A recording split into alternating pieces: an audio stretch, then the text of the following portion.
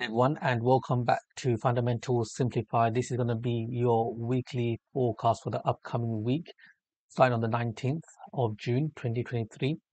So it's been a wild, volatile week on uh, GBP USD. So we'll look into that as well. And also we'll uh, do a bit of analysis, analysis on uh, the DXY as well and see uh, where price is going, as well as look at the GBP USD pair and see what's happening um, we can see that this week um, alone, price has already moved around three over 361 pips. So 361 pips is moved uh, this week. So it's been quite volatile. And there were opportunities to make money. I'm sure there was, but um, for me, obviously, if you're a day trader or you're looking to also have a long-term position, you also want to see a good, decent pullback to get in on a long-term uh, trade uh, that could give you possibly uh, to 100 to 200 pips, maybe even 300. Uh, this would have been a great trade at the start of the week, uh, but it was too late in the afternoon for me to even take this trade, but it would have been a brilliant trade.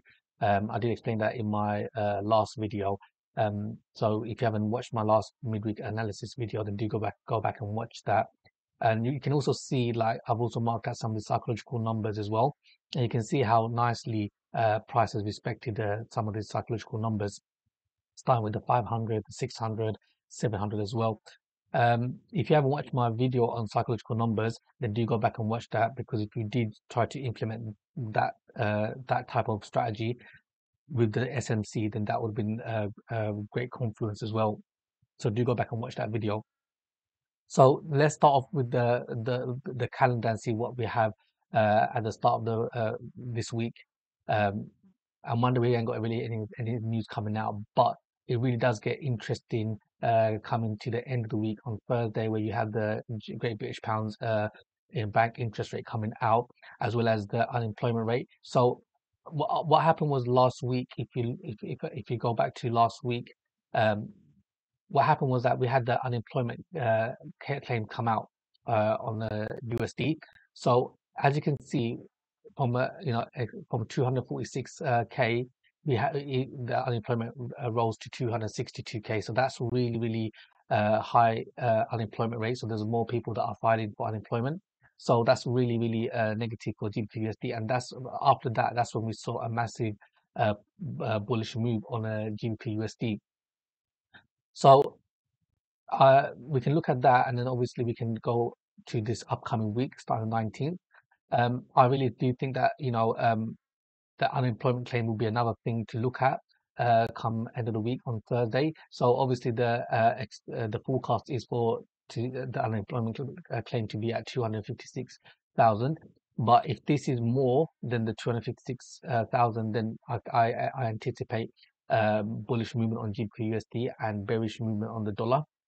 So do do keep an eye on this as well as uh, the Fed chair, chairman uh, Jerome Powell testifies as well. So he might he might say something, he might not, uh, just to be aware of. Um, but I, I, I, doubt he will say anything unless he, he does say something that's going to be in the favor of the dollar. So we can maybe see some bullish movement. Um, and at the end of the week, starting with Friday, obviously, if you trade euro, then do be uh, careful of uh, some of these manufacturing PMI coming out from the French, uh, from France as well as uh, Germany. Um, then you've got the Great British Pound, where you've got the, their manufacturer, flash manufacturing PMI also coming out as well, as well as the USD as well. So there are quite um, the uh, volatile, uh, there are quite uh, high profile red news coming out, but they are more to the end of the week, Thursday and Friday. So do be cautious as well when you're trading uh, GBP USD or Euro USD. So just to just uh, give you guys that, so you guys are aware of what's happening uh, fundamentally and what news are coming out. Now, let's get into uh, the analysis of what I'm looking at uh, on GBP this week. But before I look at the four hour, I want to look at the higher time frame, which is uh, the weekly. So we can see obviously this week, bullish candle has really, really been bullish and closed as a bullish um, uh, candle. So a continuation candle. So I am anticipating more bullish movement to occur on GBP and another confluence that we get is that we can see that this high on the, uh, the weekly chart has been broken. So, so we've made a new uh, break of structure here.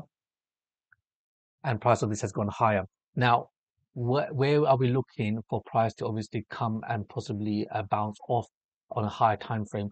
So if you look again, we have this, uh, before this uh, bearish movement happened, we had a buy candle. So this could be our order block that we're looking at on a, on the weekly.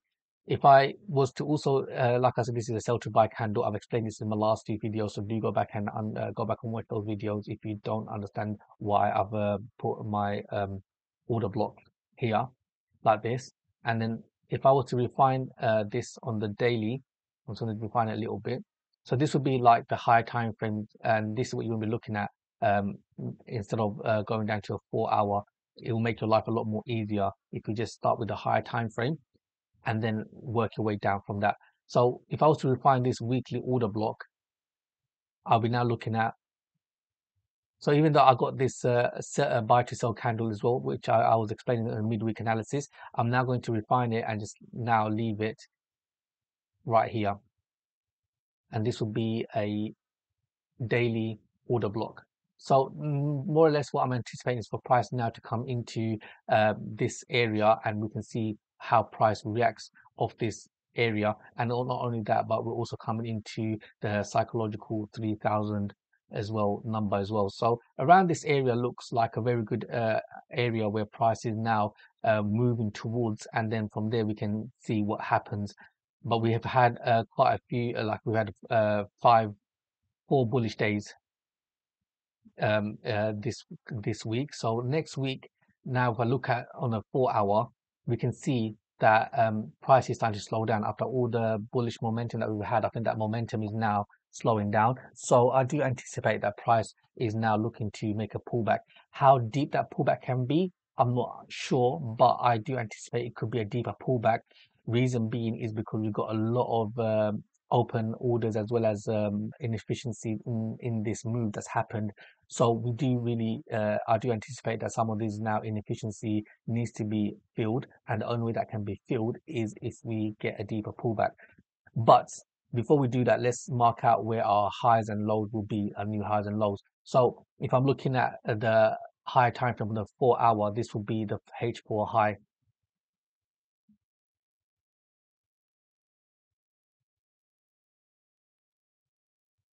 and the lowest point of this would be um, right here.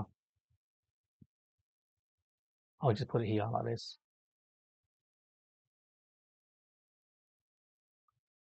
Okay, so we have now the H4 low and we have the H4 high. So in, within this area, um, if we have a pullback, and as long as price stays within this region, we can, uh, the deeper the pullback we get, don't get sidetracked or start thinking about um, oh, um, it's, it's, a sell market, it will show you uh, lower highs and lower lows, and it will look like a downtrend. But stick to the high time frame. High time frame. We on. We know that we've had a weekly bullish close, so we're anticipating more buys. Okay. Uh, also the daily, we have. We're also anticipating buys. We're looking for buys. The four-hour time frame. Every time, whenever we get the pullback, deeper the pullback is a discounted price for us to get in back on the buy. Okay, so always keep that in mind. The deeper the pullback, don't start thinking about selling, start thinking about where can I get in on the buy. And this is going to help you when I start showing you the areas that we could be possibly looking for. If I go on the 15 minute quickly, I want to just uh, mark out where we can look at for the lows uh, or the highs on the 15 minute. So the, the, the high is more or less on the 15 minute is the same as the high on the four hour time frame. We just want to look at where the low would be. So if we look at where the pullback happened, where the break of structure here, break of structure here. So I, I mean, you can put your uh, 50 minute low here if you wanted to, or even here is fine as well. So this would be like the 50 minute low we're looking at. Something like this is fine. And uh, it kind of like makes sense. Then what we want to do is we want to look at where, you know, areas that we're looking for price to come back into for us to look for a possible buy opportunity. So I can already see if I got, I can see this order block here as well. Um, this will be like a range sort of a demand area.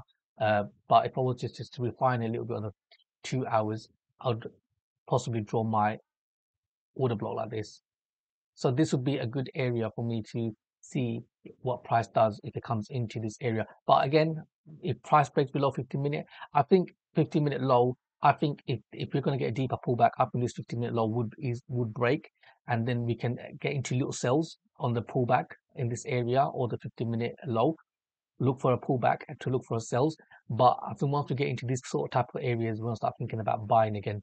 So just bear that in mind. You can still sell; it's not a problem. But just look for the deeper the pullback, start looking for buyers as well. Now, looking at the next area, if price does break, we're going to break a structure here. I would look at this uh, four-hour order block here. I'm just going to go down to a lower time frame just to um, refine it a little bit, which I don't really need to. I think this this area is absolutely fine. So within around here, as long as it stays above, uh, as, as long as the H4 low doesn't break, something around here is absolutely fine to look for a buying opportunity. And even if it doesn't work out, the deeper the pullback, it's better for us because we get a better uh, risk to ratio in our trade if, if it does, if you do catch in the right areas.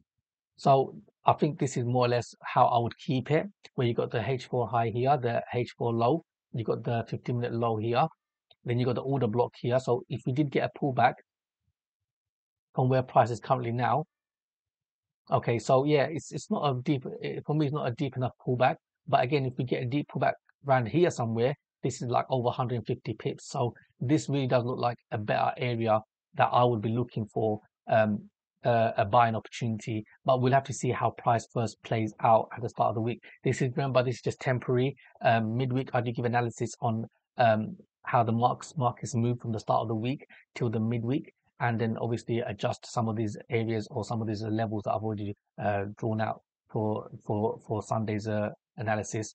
But it can always always change. So I would more or less keep it like this. I'm really anticipating price to actually go higher and come into the 3000 region and some uh, some of the order block. I would just refine because it's a weekly big order block. What I would do is I've got uh, I've refined it on the daily to get a um, order block, but I can also maybe refine this a little bit more just in case it does break higher and breaks above this uh, daily order block. Then we can look at this four hour order block. Now, why am I looking at this four hour order block is because when price started to shoot down, it did not come back to it's a, it's, a, it's an unmitigated order block for our order block. So this also looks like a, another good area, high probability area for price to come back into. Now I'm not saying it's going to come there 100%, but it's another area to look around for a sell because the weekly order block is quite big. So we want to break that order block down a little bit and look for areas because obviously if you look at the weekly it's a big order block so it could be anywhere. But if you break that order block down and look at the uh, the daily order block as well as the four hour order block then you know that within this areas you're all uh, within this area which is in inside the weekly this could be a good area in this here as well as if it goes above this uh, daily and you don't have this four hour order block then you're kind of like thinking well where's it going to go now but at least you, if you have a certain area that you're looking at for price to come into, at least then it makes your life a lot more easier because now you're saying I've got two areas that I'm looking within this week, weekly order block. I hope that makes sense. So I'll keep it like this more or less and see how price uh, plays out. Um, pullback, I, I, I do anticipate a pullback to happen based on how big the move has been uh, from the start of the week. From here all the way here is about over 360 pips. So yeah, I do expect a deeper pullback. The deeper the pullback is good because then we can look to uh, buy. Uh, and obviously, if we do break below, I will say the 15 minute, then start looking for a little selling opportunity. If you did sell it, if price broke below the 15 minute low and you were looking to sell and look to sell within this region, then yeah, it's still a good 100 pip more or less move, which is uh, a very good uh, trade and then maybe at the end of the week, maybe start looking for a buying opportunity based on the news as well. So let's see how this plays out. And obviously, in the midweek, I'll give another update. Now, if we go down to uh, the Dixie now, so we want to look at the dollar index. Now, I want to do the analysis on dollar index uh, from the beginning now, break it down properly. So if you look at the uh, the the week, uh, the monthly, let's look at the monthly. So we know on the monthly we are looking at a bullish move because we can see that price is broken structures here. Okay, so we got a structure broken here. So we know that it's breaker structure we've got uh, prices going higher, and then obviously we've been in a downtrend more or less since uh, October 2022. So right now, this is more or less a cluster of candles on the monthly, which is more or less a range.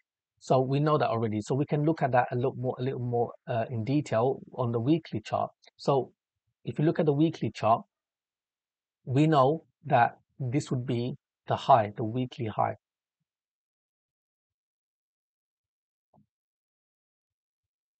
And the low of that weekly would be here. So now I've more or less um, made my life a lot more easier, knowing that I've trapped the market and know that mount price is bouncing within this high and this low here of the weekly.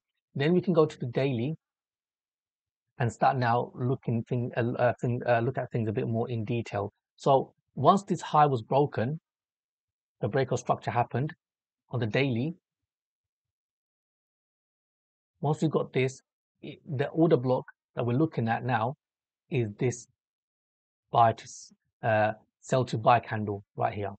This would be for me a, a, where I'm seeing price going into, and then we can see what happens because obviously price at the moment is bouncing uh, in a range really. Um, so again, come if it goes lower, then you want to buy. Unless, until this weekly low doesn't break, you don't look for carry, look for sales. The lower it gets, then obviously you want to keep buying because again it's in a range. So buy again. If it gets here, you want to sell it again until one of these levels breaks and we see a clean break and a clean candle closer on a daily or a weekly. That's when you know that you get a clear idea of which direction the price wants to go. Either go higher based on the closure of the weekly high or lower based on a weekly or a daily candle closure uh, below the weekly low. Okay, but right now what we're looking at is seeing the daily candle, uh, daily uh, order block right here for price to come into and then look to buy it. So if we're going to buy, then we're going to sell it.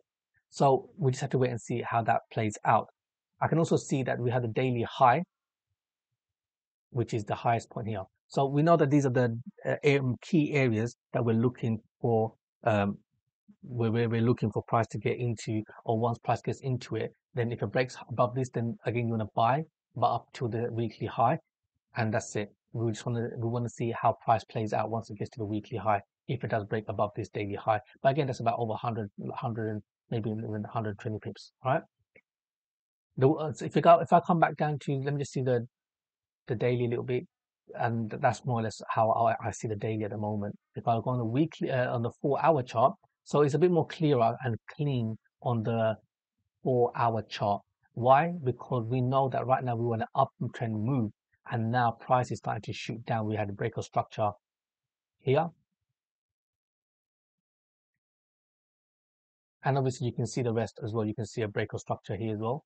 There's a break of structure here. We, we're getting break of structures and we can see break of structures everywhere, right? So we, we are seeing price moving uh, down. So we are in a downtrend, right? Now what we want to do is we just want to just like mark out what we're looking for. So the four hour highs and lows, I would I would say because we had a breaker structure here, this would be now your new four hour high.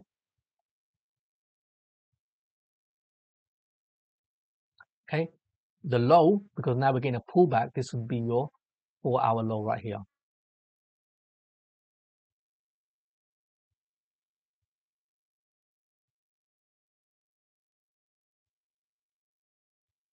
Okay, so now what we want to do now is we want to anticipate where price to come into. So the deeper the pullback, so if if, if the DIX is going to make another make a pullback and a deeper pullback, then it kind of makes sense what I was saying on the GU about price coming into this area.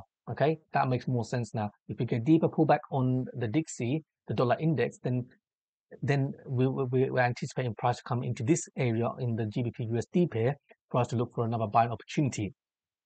Okay, so the deeper pullback, if you look here, this was the order block, but can you see it's kind of been uh, mitigated. Once it broke, it kind of like mitigated it, touched it, and it's gone now. So maybe within this wick here, there's something going on. So if I go down to a lower time frame, we can see that there's nothing there, but on a maybe one hour, okay, so we got again this area here that I would want to look around.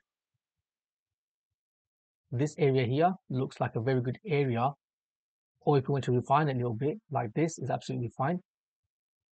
This looks like a good area for price to come into.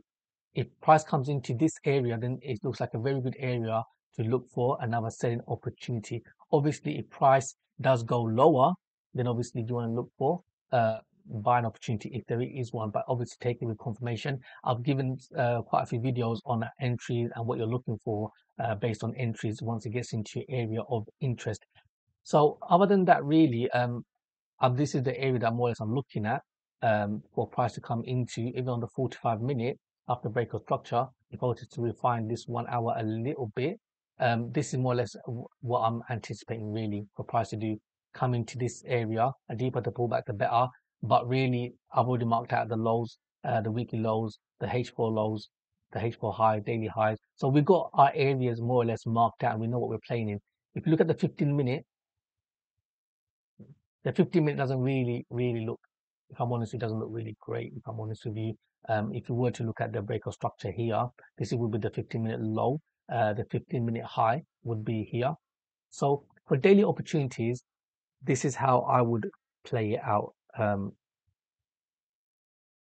so if, if the 15 minute gets broken, for example, okay, so if the 15 minute high gets broken, then what you want to do is you want to look for buys based on the 15 minute uh, break of a high and then start looking for buys up until this area here. Okay, that's what you want to do, and that's how I would play it out um, if the 50 minute high was to break, which possibly is going to happen based on how uh, how much the DXY has fallen as well as how much the uh, Great British Pound has risen last week. So yeah, it's like a 60, 61 pick move, and then you want to just kind of like wait and see what happens uh, once price gets into this area. But yeah, for daily opportunity, you want to see if price breaks below the four hour.